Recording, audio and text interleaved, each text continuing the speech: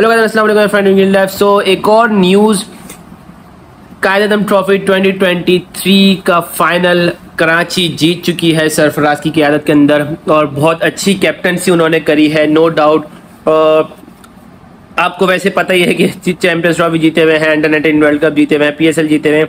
PSL में जो थोड़े से फीके लग रहे थे सरफराजी कैप्टनसी के अंदर टीम मतलब की कैप्टनसी फीकी लग रही थी दो तीन सीज़न से, वो यहाँ पर जो है बहुत अच्छी कैप्टनसी साबित हुई है और बहुत अच्छा जो है वो इन्होंने प्ले ऑफ़ की अपने क्रिकेट को, अपने कैरियर को अच्छा और थोड़ा और उरूज दिया है। इन्होंने ये विक्ट्री जीत के, ये ट्रॉफी जीत कर और अच्छे highest run player of the tournament बने हैं सेकंड हाईएस्ट रन स्कोर रहे हैं टूर्नामेंट के। और इनकी टीम काफ़ी अच्छी रही करारकर्दी भी अच्छी रही है। जो साइम अयूब ने खेला, जो शान मसूद ने खेला, जो असद शफीक ने खेला तो जो हमजा मीर ने बॉलिंग कराई, जो एक और बॉलर थे, मुझे नाम याद नहीं रहा, उन्होंने बॉलिंग कराई, सो शाहनवाज धानी तो काफ़ी अच्छा रहा टूर्नामेंटिंग के लिए और उन्होंने अच्छी कारकर्दी करी। अगेन अगेन जो है वो प्रूफ किया कि कैप्टनसी के अंदर स्टिल ये बेटर देन है बाबर आज़म से।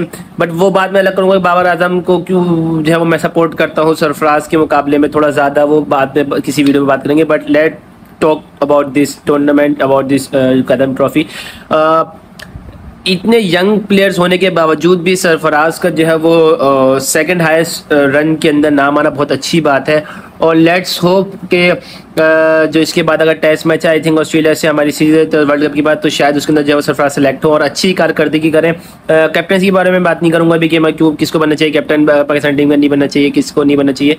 लेकिन सरफराज ने अपने आप को प्रूव किया है अगेन कि वो एक काबिल कैप्टन है, वे काबिल टीम प्लेयर हैं, वो टीम को चलाना जानते हैं और अच्छे से खेलना जानते हैं। So hope for the best for Sarfaraz Ahmed, वो हमारे टीम के प्लेयर थे टीम के प्लेयर हैं और रहेंगे, हमारे दिल में रहेंगे और इन ताला हम उन्हें जो है वो पाकिस्तान के लिए खेलते हुए देखेंगे दोबारा। So hope for the best for Pakistan cricket world cup and कल उनका मैच है। So pray for them. See you in the next video. Allah Hafiz.